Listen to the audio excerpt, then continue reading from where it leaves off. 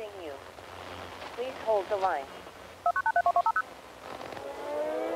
The British government has informed us that, owing to its own difficulties, it can no longer extend financial or economic aid to Turkey.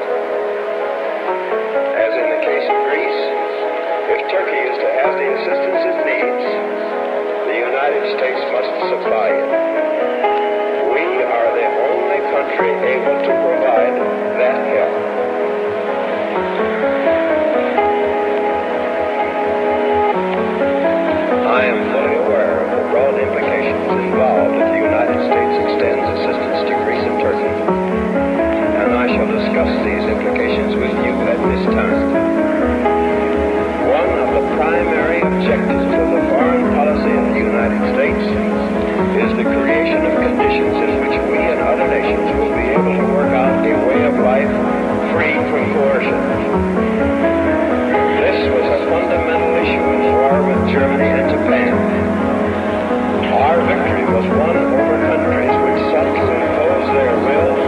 and their way of life upon other nations.